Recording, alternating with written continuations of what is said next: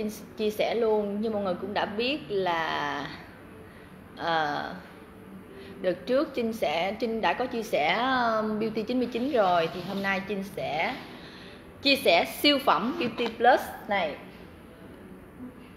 À, với uh, Beauty uh, với Beauty Plus 99 phiên bản mới này thì có điều gì khác biệt với cái Beauty 99 cũ?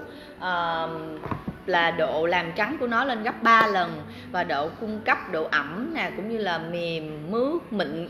À, trong cái thành phần cũ của Beauty 99 á, thì chỉ có một cái um, uh, tinh chất nổi bật nhất đó là Elavida. Còn trong cái Beauty Plus 99 lần này á, thì có thêm hai cái chất để mà làm trắng da gấp 3 lần nè cung cấp độ ẩm gấp 3 lần nè và giúp cho da mình uh, chống oxy hóa chống ung thư da nè.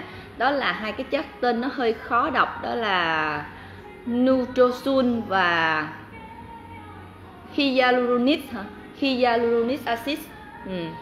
hai cái chất này là hai cái chất mới trong ờ, Beauty Plus 99 à, thay vì cái phiên bản cũ á, thì ờ, tụi em uống 3 tháng. Còn phiên đối với phiên bản mới này nó đã trắng gấp 3 lần thì ừ, thì mọi người có thể dùng ờ, uống khoảng 2 tháng thôi. À, hai tháng là ngưng cũng được. Còn nếu không thì các bạn cứ dùng theo đúng cái liệu trình là 3 tháng và sau đó mình duy trì bằng cách là mỗi ngày mình uống uh, một viên hoặc là một tuần mình uống hai ba lần. Còn trinh thì bây giờ trinh vẫn uống một ngày là hai viên nhưng mà các bạn nhớ khi mà các bạn sử dụng sản phẩm Beauty Plus 99 thì các bạn phải uống nhiều nước vô nha. À, vì khi các bạn uống nhiều nước á, thì à, nó sẽ uh, giúp cho những cái chất ở trong cái thuốc này nó thẩm thấu đến những cái uh, gọi là những cái vùng những cái vùng mà nói chung là nó dễ thẩm thấu cái thuốc này hơn khi mà các bạn dùng sản phẩm này các bạn nên uống nhiều nước.